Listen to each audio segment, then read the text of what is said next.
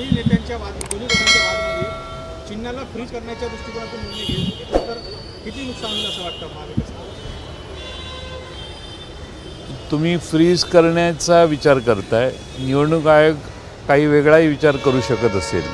त्यामुळं काय होणार आहे आणि देशात काय चाललेलं आहे हे सगळ्यांनाच माहिती आहे.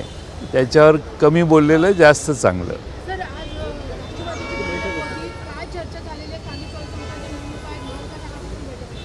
आदरणीय शरद पवार साहेबांच्या अध्यक्षतेखाली आज महाराष्ट्रात इंजिनियर्स सेल आणि ॲग्रिकल्चर ग्रॅज्युएटचा सेल काढायचा असा निर्णय घेण्यात आलेला आहे.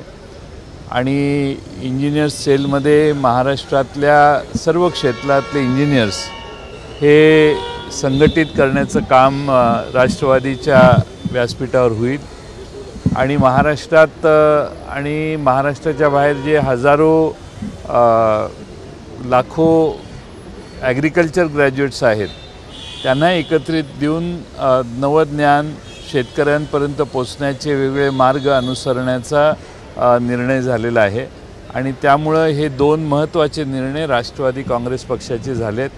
पुढच्या महिन्याभरात त्यांची ह्या दोन्ही सेलमध्ये महाराष्ट्रामध्ये ॲग्रिकल्चर ग्रॅज्युएट्स आणि इंजिनियर पदवीधर आणि पदविका धारण केलेले या सगळ्यांचं प्रत्येक तालुक्यात आणि जिल्ह्यात संघटन बांधलं जाईल महाराष्ट्रात संघटन बांधलं जाईल. त्यांचे प्रश्न हा एक विषय आहेच.